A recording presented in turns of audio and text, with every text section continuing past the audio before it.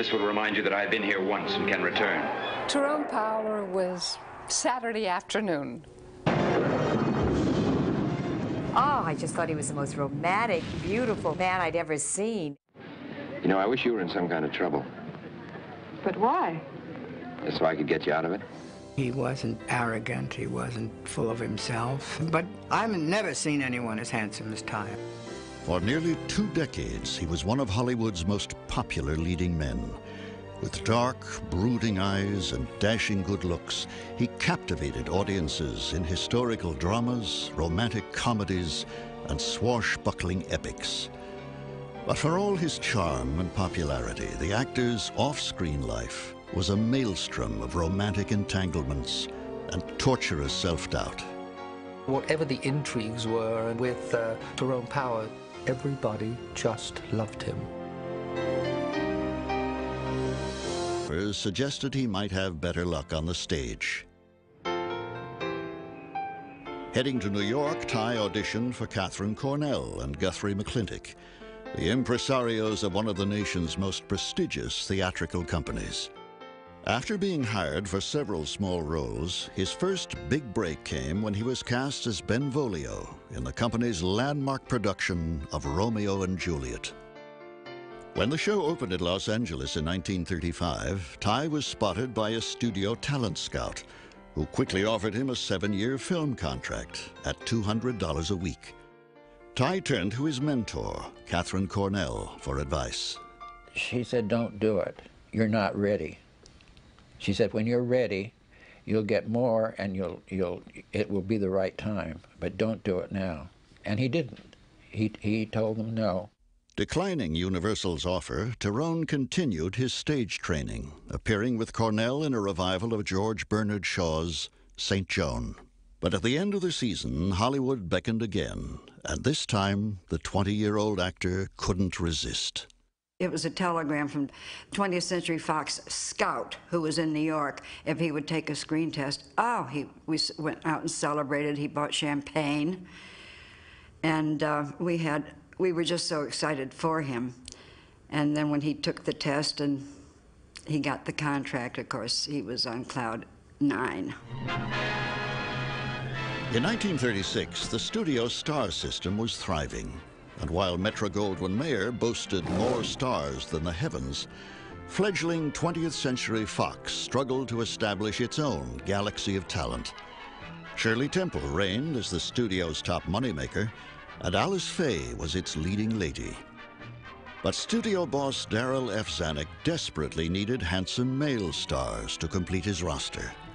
In order to test his new contract player's screen appeal, Zanuck gave Ty a small but effective role in the romantic comedy Girls' Dormitory. What will it take to cheer you up? A diamond bracelet? A million francs? Or a dance with me? I don't feel like dancing. Have a drink of champagne. Or maybe I could entertain you with a few card tricks.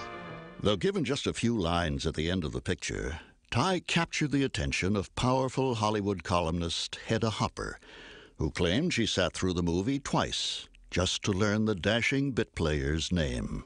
Nevertheless, the young actor could not convince Zanuck to give him his big break.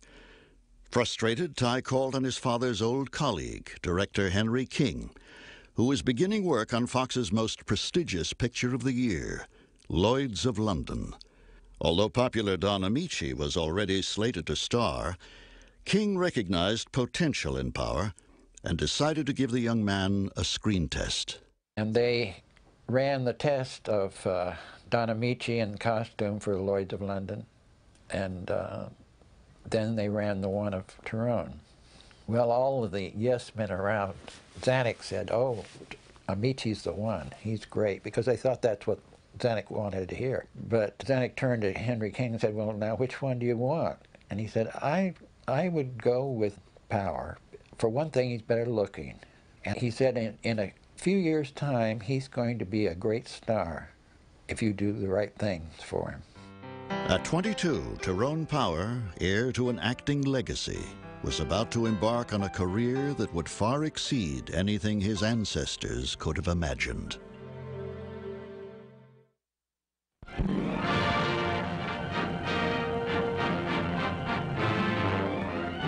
Lloyds of London was Fox's number one grossing film of 1936.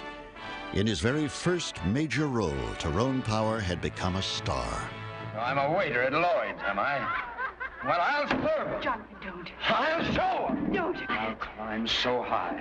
Quiet. I'll cut a path so wide. Don't you stab the piece. They'll doff their hats. Ty was 23 when he became this gigantic star. He never seemed to be a neophyte or a, gangling boy. He was a young leading man immediately. With his newfound success, Power was rewarded with a new dressing room and a raise to $350 a week. He was also receiving an astonishing 1,000 fan letters each day, many from women requesting more love scenes in his future films. Recognizing his new star's potential, Zanuck rushed Power into a series of light-hearted musicals and gripping dramas. Oh, you're crazy! You're crazy! Maybe, but I was sane enough until tonight. Then I heard you sing. And something happened to me. Something swept over me I'd never felt before or ever expect to feel again. What are you talking about? I'm in love with you, Bill. In just three short years, Tyrone Power would become one of the nation's top box office attractions, surpassing other stars like Clark Gable and Spencer Tracy. Somebody would say to him about, well, how was it when you first started? And, and he always answered the question in the same way, which I thought was so typical of him. I was the right person at the right time, and I was lucky to be there.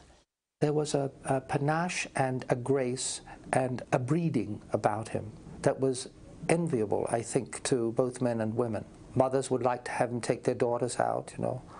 Guys would like to have him as a brother. If the public fell in love with him, so did nearly all his female co-stars. And soon Ty began dating some of Hollywood's most famous leading ladies. Sonja Henie and Tyrone Power, just before the opening of Hollywood's latest triumph. We mustn't miss Tyrone Power escorting Janet Gaynor. What a pair. In 1939, MGM superstar Norma Shearer was so struck by the charismatic young actor that she personally requested him as her co-star in a lavish production of Marie Antoinette. But after the film opened to disappointing reviews, Zanuck vowed he would never again loan his number one leading man to another studio. Returning to Fox in Suez, an epic costume drama, Power was featured with Fox's newest European import, the glamorous French actress with one name, Annabella. At your service, mademoiselle. Make him bring back my little house. My clothes are in it. Well, why don't you come out and get them yourself? Shame on you. My dear young lady, I don't mind seeing you in your bathing dress. Oh. Shame on you. Oh. The first time it was hello, hello. And like all the girls were crazy about him, I was a little cool not to do exactly like the others. So I called my mother. I'm going to have dinner with Tyrone Power. What? The great Tyrone Power? But you have your old suit and flat shoes. I said, doesn't matter, mother. He asked me to go out for dinner.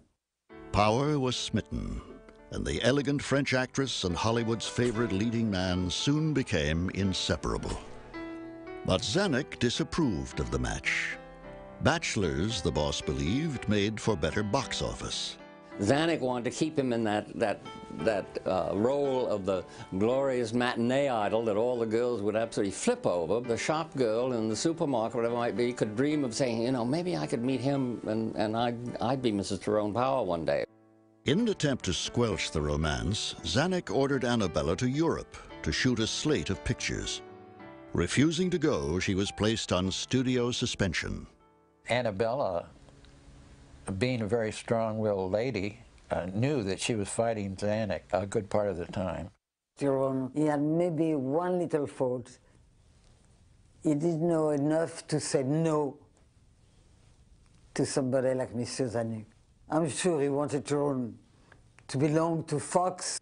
Didn't stop my love for Tyrone or uh, Tyrone's love for me. The romantic Hollywood wedding of the 20th Century Fox star, King of the Screen, and the charm girl from France. Their marriage, long rumored, has now occurred. Tyrone Power and Annabella are now two stars that twinkle as one. Now married, despite Zanuck's strenuous objections, Tyrone Power and Annabella sailed to Europe for their honeymoon.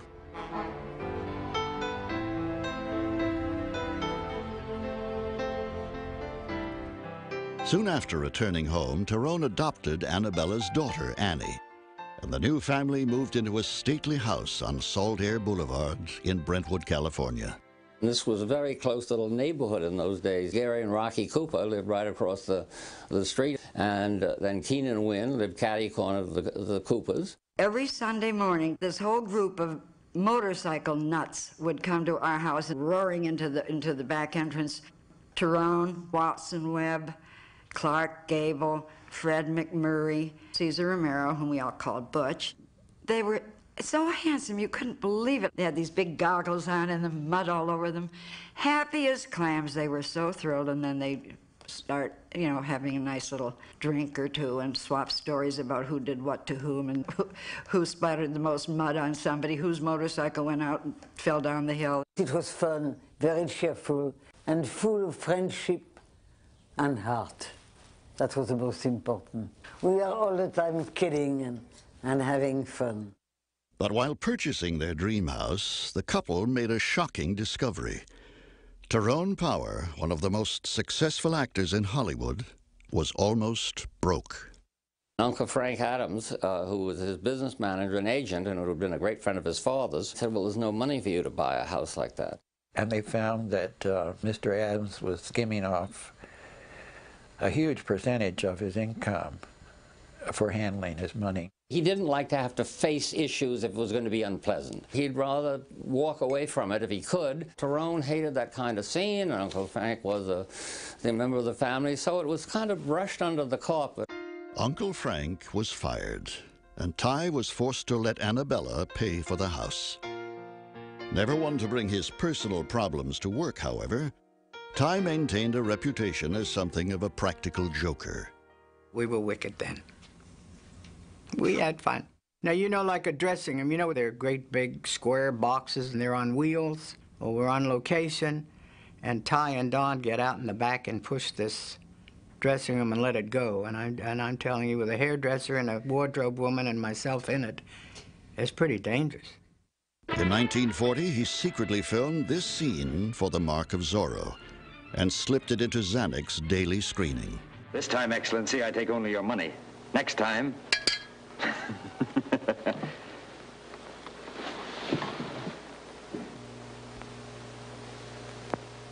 Zanuck. And let that be a lesson to you, damn it. Adios. With the mark of Zorro, Tyrone Power inherited one of Douglas Fairbanks' most famous roles and the mantle of America's most popular swashbuckling hero. Needed that scratch to awaken me.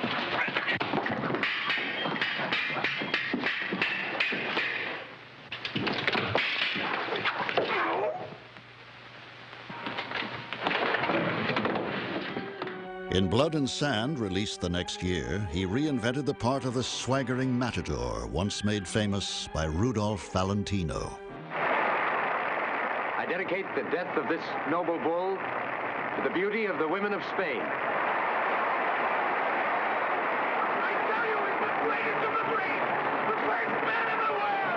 The Hollywood heartthrob was now a box office sensation. But as Ty and Annabella began their fourth year of marriage, the public couple wrestled with a very private pain. He very, very much wanted a son, and Annabella very, very much wanted to give him a son. I mean, he had the thing about the Tyrone Power name going on, but I think it was more an obsession with Annabella than it was with Tyrone that she couldn't give him the son. I think it frustrated her more. As a further strain on the marriage, rumors of Tyrone's extramarital affairs began to circulate around Hollywood. Sure, he had a couple of flings that everybody knows about. They were numerous. Uh, but they, uh, there were some important ones, and one, of course, was Judy Garland, who was crazy about Tyrone. When the affair with Garland developed into a serious romance, the high-strung superstar pressured Tyrone to leave his wife. He wanted to be all things to all people, and you couldn't. He would like divide himself up into little millions of pieces of, you know, for people that wanted this or wanted that, and it just it just couldn't be. While domestic conflicts were erupting in the power home, a much greater battle had begun in Europe. England and France declared war on Germany, and the United States was on the brink of joining the fray. Zanuck drafted Power and pin-up girl Betty Grable for a strategic piece of pre-war propaganda, a Yank in the RAF. Well, I haven't looked at another girl since you left. Well, I've looked at other men. Maybe, but I'll bet you didn't look at him the same way you looked at me that first night in Kansas City. Remember? You were going east and I was going west. And we saw each other and I was going east too. That same old spark still there, honey. Sure, we've been off course a few times, but we can get back on again. After the Japanese attack on Pearl Harbor in 1941, Power enlisted for real as a flyer in the U.S. Marine Corps. An experienced pilot, he wanted a chance to show that he was not just a Hollywood pretty boy. But yet another obstacle stood in his way. He would like to have gone into the service right after he signed up, but it was Zanuck uh, who requested that he be allowed to do Crash Dive. Zanuck felt, and the, and the, the armed services also felt, that it would increase uh, volunteers. Sub's been stalking that lifeboat trying to knock off a rescue ship. We'll see what we can do for him.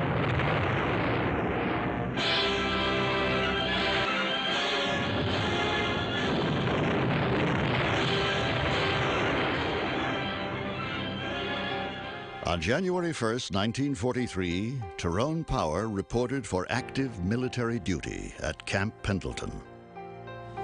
Left behind was an uncertain marriage and a career of wealth and privilege. Awaiting him was a world and a life that would be changed forever.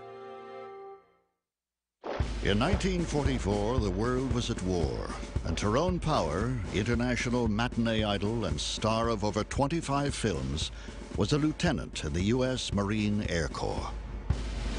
He loved flying. He loved excitement, and he loved danger. He had a wonderful war record, and he was an extremely good pilot. And he said, it's different when you're not in a movie with a uniform. He said, when it's really you, and he said, it's very satisfactory. But while battling the enemy, Ty also battled his conscience. And when the 30-year-old actor returned from the war, he decided to repair his failing marriage to Annabella. Lieutenant Tyrone Power, the 20th Century Fox motion picture star, is welcomed home by his wife after war and battle as a Marine Corps pilot. When he came back from the war, when we found each other again, that was marvelous. Canada's wind and snow whip up a welcome for Tyrone Power and his wife Annabella. After three years of fighting in the warm Pacific, Tyrone chose Canada's wintry blasts for a vacation, and it looks as if he got them. They're going to enjoy this reunion. Tyrone's out of service now after a distinguished record that included participation in the campaigns at Iwo Jima and Okinawa. They were never like this. For his return to the screen, Zanuck cast Power in The Razor's Edge, a powerful adaptation of Somerset Maugham's classic novel. All the things that had been confused before suddenly became clear to me. I had a sense of knowledge more than human. I felt that I'd broken away and was free. The film captured the hearts of post-war audiences searching for more realistic, mature dramas and went on to earn an Academy Award nomination as Best Picture. His box office status secured, Power next begged Zanuck to let him star in Nightmare Alley, an uncompromising drama concerning a carnival conman whose web of lies leads to a downward spiral of despair and degradation. I see fields of grass and rolling hills and a boy. A barefoot boy is running through those hills. A dog is with him. A dog is with him. Yeah. His name is Don. Go on. hey, see how easy it is to hook 'em? Stock reading fits anybody. Never misses. Of course, Zanuck didn't want um, Power to do Nightmare Alley. If you're a studio head and had this great star suddenly want to act, you know, uh, uh, didn't sit well. The role of Stan Carlisle was his finest to date and became his personal favorite. But the actor felt betrayed when the studio rushed the film in and out of movie houses, giving it little publicity. I think then he felt resentment that Zanuck is still being the patriarch. I've served my apprenticeship. I feel that we ought to be more partners than it is son and father, you totally controlling me. As Tyrone's relationship with Zanuck deteriorated, so did his marriage. Though the couple had tried to resolve their differences, in 1947, Ty and Annabella separated and later divorced.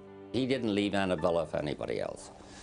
And I will swear on a stack of Bibles that high that that's true. There was nobody else in the picture, but she was really the one said it's time for us to call quits because I'm never going to be able to give you that son that you want. And there was never one bit of either uh, bitterness or anger or anything.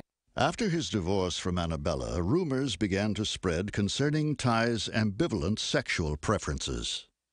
There was a duality in Tyrone. Uh, from a sexual point of view, but the men in Tyrone's life never complicated his life, and the women gave him a big headache. After a brief and highly publicized romance with actress Lana Turner, Ty surprised everyone by announcing plans to fly his plane around the world with actor and good friend Cesar Romero. Tyrone Power and Cesar Romero are off on a vacation.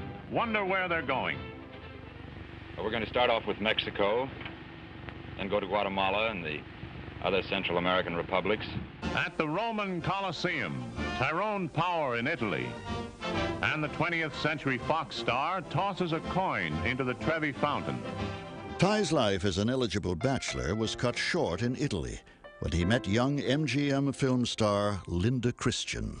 When he opened the door to his fabulous suite, all the bells of Rome started to ring.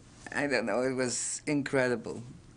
And uh, it was actually the telephone that was ringing. And it was Lana saying, uh, Where have you been all evening? Tell me that you love me. And then he looked at me and he said, I love you. And that was that. Following a much publicized courtship, Ty and Linda married in Rome in January 1949. Tyrone Power's bride, Linda Christian, enters the ancient church of Santa Francesca Romana to wed her hero. She's almost an hour late, but Ty waits happily. Tyrone, will you take Bianca Rosa here present for your lawful wife according to the rite of our Holy Mother, the Church? I, I will. All of Rome was just along this street and up the, the monuments and on the trees and on the lampposts. And I was late because I couldn't get through the throngs. But when the actor returned home, he was disappointed with his next role that of a swashbuckling hero in a modestly budgeted costume drama. Yes, Esteban. It's me. Orsini. In Prince of Foxes, Power looked tired and older than his 36 years. In 1950, for the first time in 12 years, he failed to rank in the top 10 of U.S. box office attractions. Despite his career frustrations, Ty's life took a bright turn when Linda gave birth to a daughter, Romina Francesca. But when Zanuck featured Power in a series of second-rate films that neither impressed audiences nor challenged his talent, the actor knew that his days at Fox were numbered. You have taken two captives from the country of the long knives. The pony soldier speaks with the tongue of the snake that rattles. It is Standing Bear who speaks with a forked tongue. He didn't really feel that he had achieved what he wanted to achieve as Tyrone Power actor. Tyrone Power movie star, yeah, he knew that, but that wasn't the thing that was all important to him. Then he started to become a little impatient and wanted better films and better roles and, and uh, was looking forward to the time that he wouldn't be under contract and that he could choose his own material. Tyrone Power had made over 40 films and become an international superstar. But when his contract came up for renewal, he refused to negotiate, terminating one of the longest exclusive contracts in Hollywood history. For the first time in 20 years, the actor was free to choose his own roles, live his own life, and make his own mistakes.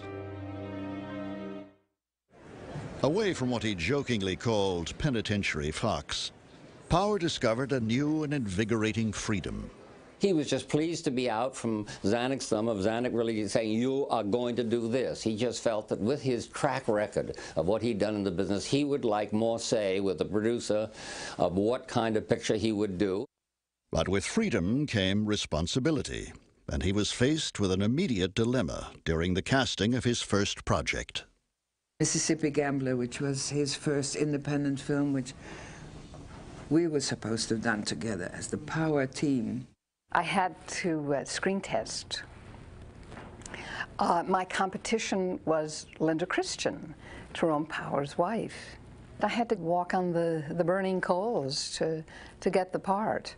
I was very disappointed, and I let him know that he should have been firmer. When Piper Laurie won the starring role, Tyrone generously gave his co-star some advice. He told me about a trick.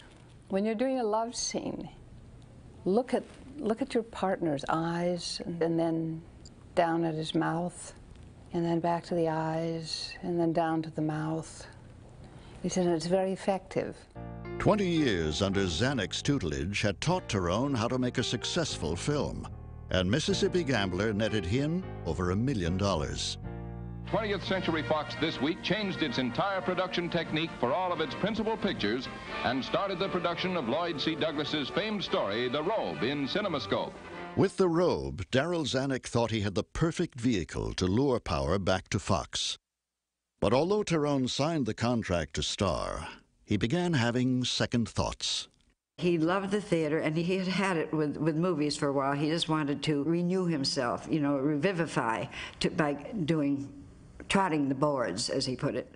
Withdrawing from the film, Power made the rather risky decision to co-star in a staged reading of Stephen Vincent Benet's epic Civil War verse, John Brown's Body.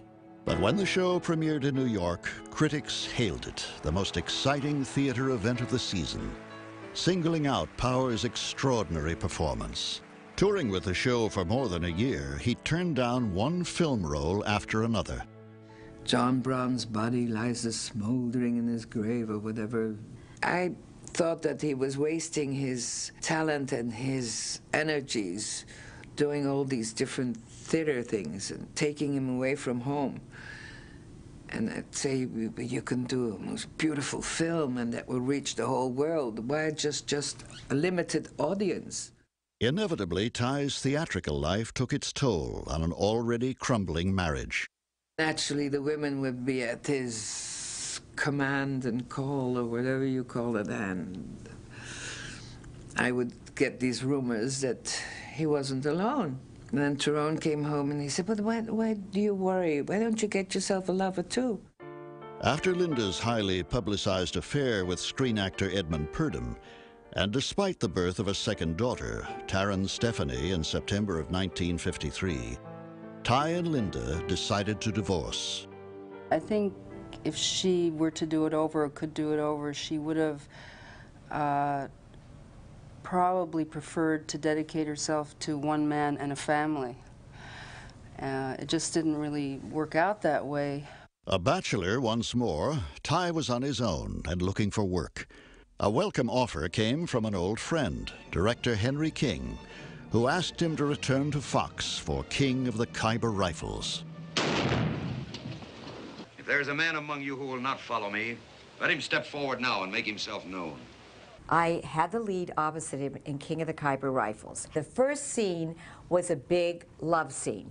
I haven't even met him. And Tyrone Power comes in, and my eye started twitching. I mean, there's nothing you can do. And Tyrone, he was, he just took over. He said, Henry, I don't know my lines. Do you mind if Miss Moore and I go and sit on the side and uh, and maybe she can help me? So we went over there for about a half an hour. We went over the lines. Of course, he knew them, but he was just so kind. He knew that I was just so completely distraught and nervous.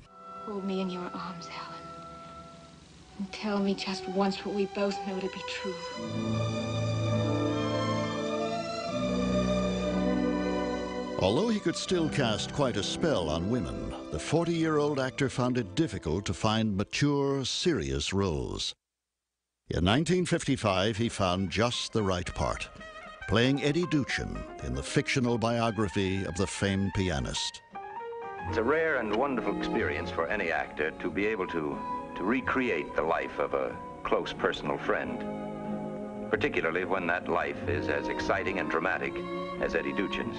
I went to the studio to watch him. He wanted me to watch him practice the piano.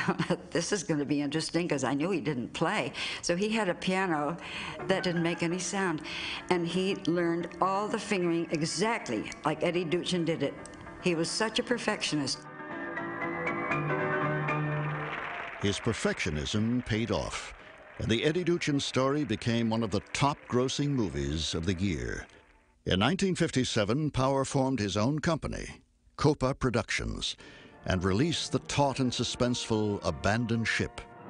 There were 26 survivors in a lifeboat meant for 12. But you must have sent a distress signal. You had seven minutes. You must have sent an SOS and got an acknowledgement. One man alone had to say who was to live I'll hang you for it, Holmes! And with my blessing! and who was to die. By now, the middle-aged matinee idol had proven that he could thrive outside the studio that had nurtured him for so long. But haunting him was a responsibility to his family and his father that he was unable to ignore. Since boyhood, Tyrone Power had been both blessed and burdened by his theatrical heritage. If you go to Grauman's Chinese and you look at what he uh, said in cement, uh, following in my father's footsteps, that meant a lot to him. There was tremendous feeling of being another Tyrone Power who would be remembered as an actor. At 43, Tyrone had reached the stage in his career when he was no longer a prisoner of his pretty face. Years of training and experience recommended him for a variety of more challenging roles. In 1958, director Billy Wilder cast Power as the charming but devious defendant in Agatha Christie's suspenseful courtroom drama, Witness for the Prosecution. You killed Emily French! No, I didn't. I didn't do it. I didn't kill her. I never killed anybody.